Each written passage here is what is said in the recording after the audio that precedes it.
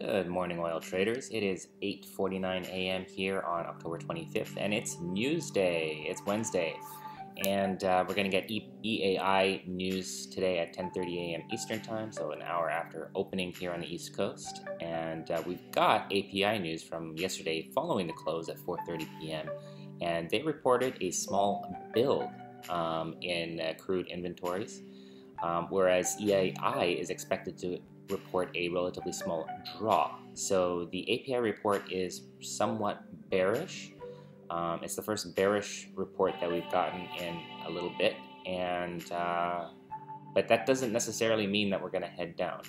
Um, the initial reaction to the news, although bearish, uh, we didn't really move. Um, if you guys, if we zoom out here to um, the 15 minute interval, you can see here we got the news uh, right here at 430. Um, it uh, moved up a few cents uh, and then basically leveled off. We never got much high.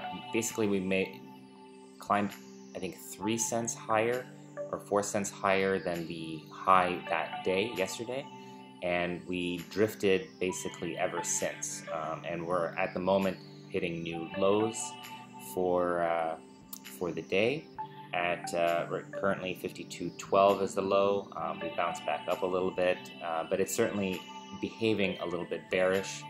Um, I won't really feel that it's bearish until we hit kind of um, below 51.70, let's say, um, or close to it. That being said, uh, that's kind of where my targets are, and they have been, and they remain unchanged. I'm looking to exit now three instead of uh, two short positions if we manage to get to below 51.50. Um, I might exit as many as four short positions as we approach 51 um, if I have that patience in me today. And if the opportunity presents itself, uh, if we move fast enough that I don't accidentally enter a trade um, before the move is done, which I tend to do. If we do manage to get to or below $51, I'll be looking to enter long positions, um, one or more, depending on how low we go and how fast we get there.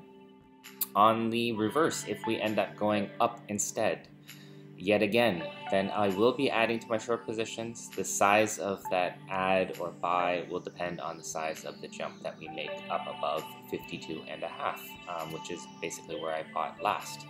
Um, as you guys know, I've been buying kind of uh, positions in accordance to the size of the movements. Um, and recently the movements have been small, so the positions that I've been buying have been just as small. Um, you can see here my last two purchases have been the smallest that I've purchased in a long time with 6% uh, portfolio weighting followed by a 4% portfolio weighting. Combined, that's um, as big as the uh, third most recent uh, short buy there um, from four days ago. So yeah, if we do go up, I will add again. Um, yeah, hopefully we go down uh, because I kind of really need the opportunity not only to exit some shorts, but really to get back into some long positions. Um, I'm trying to rebalance that portfolio of mine, and uh, right now it's very much unbalanced.